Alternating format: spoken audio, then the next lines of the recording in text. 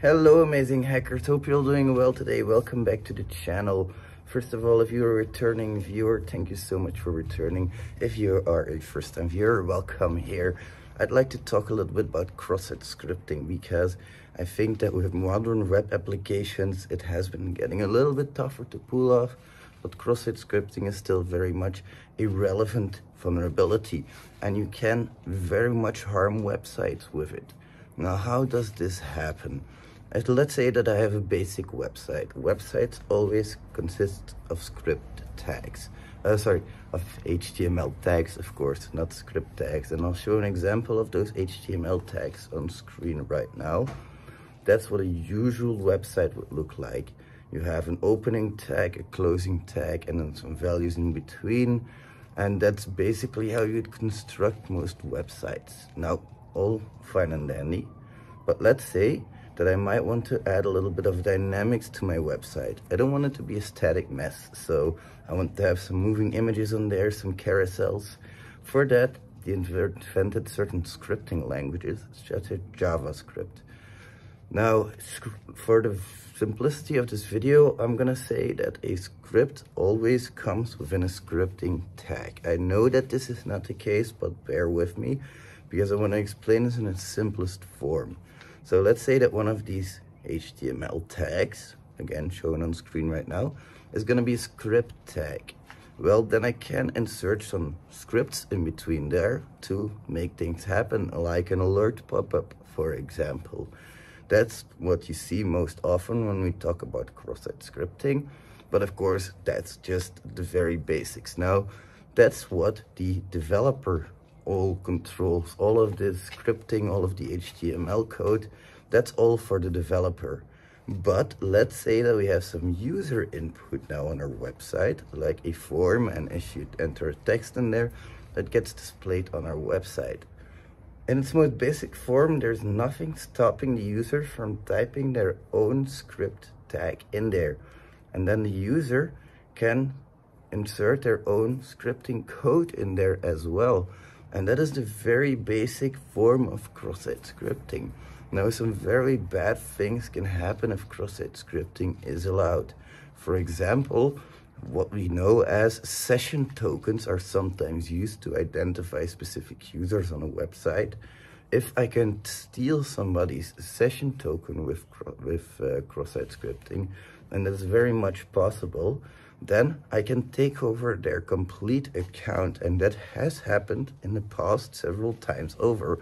Famous example, the self-retweeting tweet. That was also cross-site scripting because what would happen is every time you came onto that web page, it would hit that little, there would be some JavaScript code on that web page that said, go hit that little retweet button. And since you were logged in, it would hit that button and bam, you had another retweet there. And the next person that came along and saw that tweet on your profile would automatically hit retweet as well.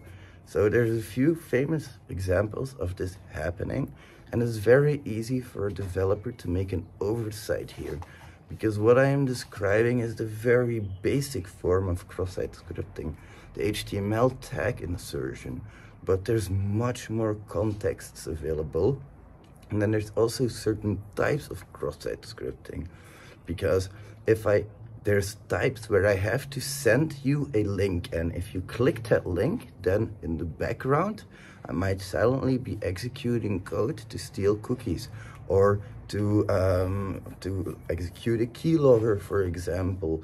You can even steal specific like if you have the everybody knows that you can save your password in your browser's password manager if you do that and there is cross-site scripting in there, even that can be stolen in specific ways.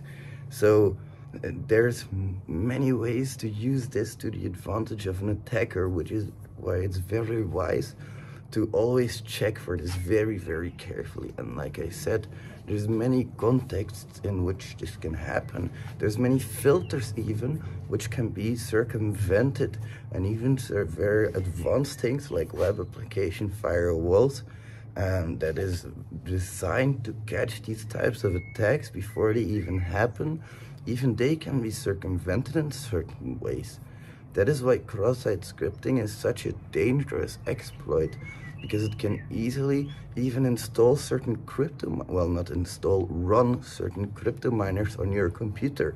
So while you're happily browsing that website, you might suddenly see your CPU spike. Well, there could be a cryptocurrency miner in the background. I'm not saying there is, for all, let's be clear, there definitely isn't a, a miner working on the background of every website that kind of brings your CPU up a little bit. That's not how it works. But it, it could happen that you don't even notice a thing of what of the attack that is occurring right in front of you. And I talked about the link being sent to you. I have to send you a link. You click it, the attack happens.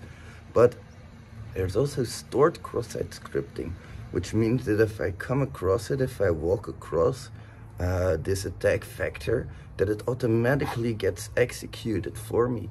Uh, and then I don't even have to click anything, I don't have to do anything, I just have to stumble across it. So as you can see, my friends, cross-site scripting is quite dangerous, often because the victims don't even notice it themselves and if the website where the attack is happening doesn't have proper logging and monitoring systems in place to catch these attacks, then they won't ever really know that it's going on. So such an attack can be in a system for weeks, months, years, even if it's not properly monitored. Again, very dangerous exploit. I hope I was able to shed some light on how this occurs, why this happens. Uh, and for those of you who are much more interested in it, I also have a course about cross-site scripting as well, of course. And I also have a lot of free labs available where you can practice all you want. Um, there will also be a link in the description below to a one hour long course on my channel uh, that is totally free where I talk about these types of things more in depth. So if you, if I piqued your interest, Please don't let it be for Bato. We are ethical hackers here, but if I have piqued your interest and if you want to learn, there will be plenty of resources for you in the description below. Uh, who, do, who are the people that I kind of look up to when it comes to this stuff? Um, there's Albinowax, uh, there's Brute Logic, there's Lupin. Uh, those are my cross-site scripting heroes a little bit. So if you guys want to look into them a little bit more, I'll provide links for you as well. Thank you very much for watching, my friends. Check out my cool DC Cybersec merch. I freaking love it. I'll see you guys in the next one. Bye, amazing hackers.